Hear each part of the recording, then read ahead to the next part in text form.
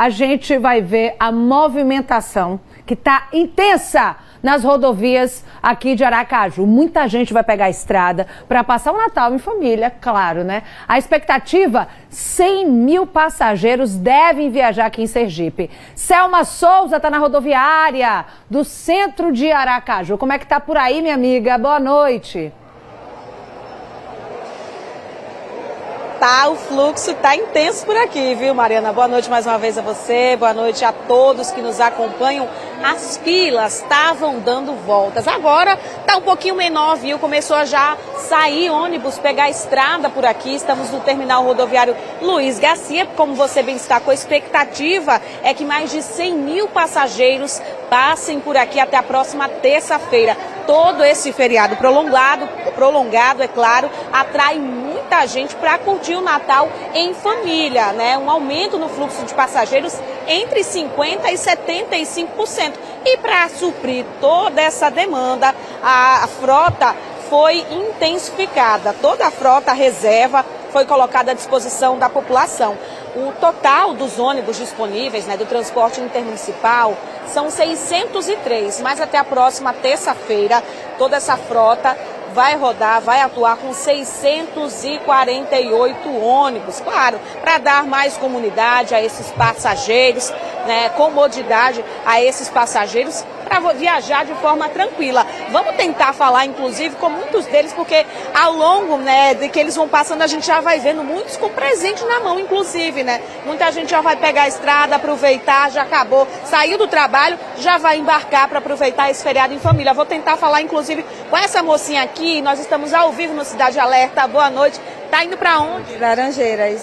Já comprou presente todo mundo, já garantiu? Já, sim. movimentação intensa de fato. Já viu a, a rodoviária desse jeito? Não. Como é seu nome? Edjane.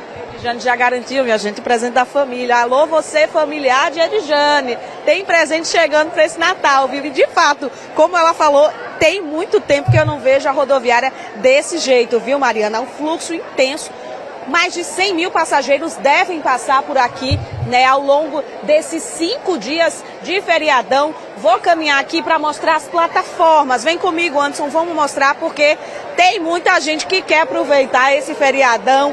Dá licença aqui, boa noite, boa noite, amiga. Vamos falar com a gente. Como é seu nome? Não quer, não? Vamos você então, senhor. Como é seu nome? Povo não quer não, o povo está se escondendo, Mariana, mas a Rejane, que eu conheço a Rejane, vai falar com a gente. Isso mesmo, Selma, vou falar assim. Aonde, é? Itaporanga. Rejane, fila intensa, já viu rodoviária assim desse jeito? É, hoje é, a fila está bem maior, mas é, todas, todas as semanas, todos os dias da semana, a reclamação de, das pessoas que vêm para trabalhar, acontece esse movimento. Não essa fila como está hoje, mas é sempre cheia a rodoviária. E é uma reclamação de Itaporanga que a gente precisa fazer aqui em Itaporanga.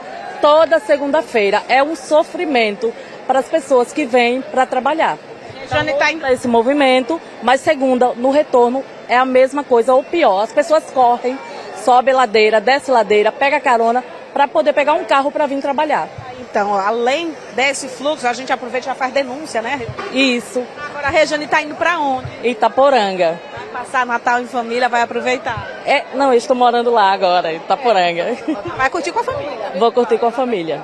Feliz Natal, viu, Regiane, para você para toda a família. Pois é, Mariana, movimentação muito intensa, como a gente viu, tem reclamação de passageiros, mas a orientação é que devido a essa demanda, né, que é de fato excepcional nesse período de Natal, a orientação é que esses passageiros comprem essa passagem de forma antecipada. O povo já está se adiantando, já está correndo para não perder o ônibus, para aproveitar essa sexta-feira, né, já curtir aí nos seus municípios, na sua cidade cidades natais, aproveitar com calma esse feriadão e orientação é essa.